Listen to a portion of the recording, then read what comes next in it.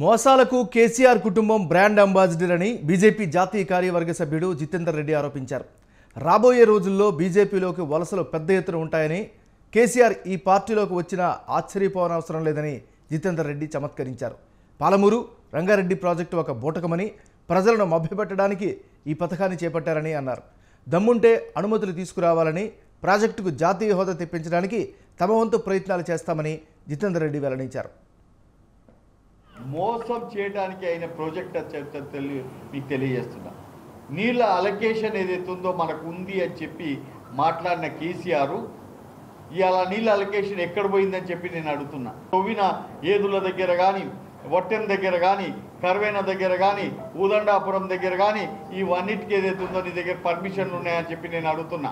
ఇవన్నిటిని చక్రమంగా నీవన్నీ తయారు చేసి పర్మిషన్లతోటి డిపిఆర్ తయారు చేయి దానిని లీగల్ ప్రాసెస్ ఏదైతే ఉందో మేము సెంటర్కి తీసుకెళ్తాం. దానిని దాని తప్పక మేము నేషనల్ ప్రాజెక్ట్ లేకపోతే తప్పుకోండి.